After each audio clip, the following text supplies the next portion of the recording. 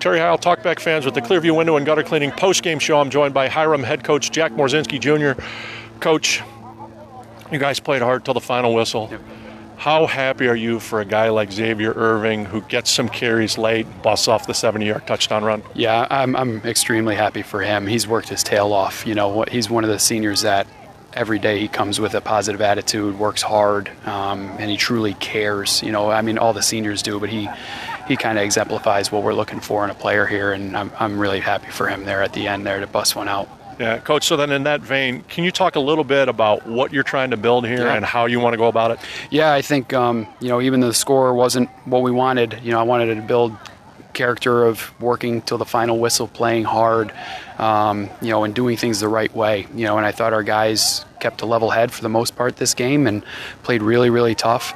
Um, you know, and I, I just feel for the seniors because we weren't able to get it done here on their on their last home game, but um, they played hard the whole time and, and they were invested on the sideline still to the final thing, and they, they could have been pouting and, and all that. So, um, but what we're trying to build is just a, a full a full human. You know, we want we want guys to be good on and off the field. You know that everything's important to them. We want competitors in every aspect of life, and eventually to become you know uh, better husbands and fathers and commu- you know, community members as they go forward. So, um, we're the bare bones are there, but we got a lot of work to do for sure after today. Yeah.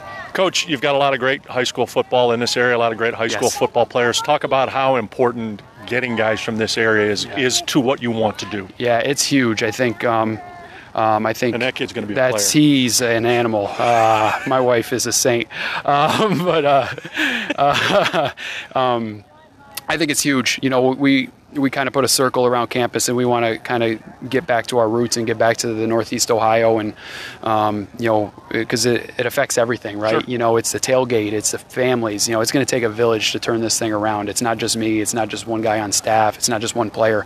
Um, it's the families, and you know, um, already our freshman parents have taken the lead with tailgate after the game, and they're feeding our fan, you know, our, our team and the cheerleaders, and they're going above and beyond. And I just hope that we can continue to get that rolling going forward. Beautiful. Coach, good luck Yeah, with that rebuild. Thank you very much. Hey, thanks for the invite. Greatly yeah, no, thanks it. for having. Anytime you guys are welcome. I appreciate Beautiful. it. So, Take care. Yep.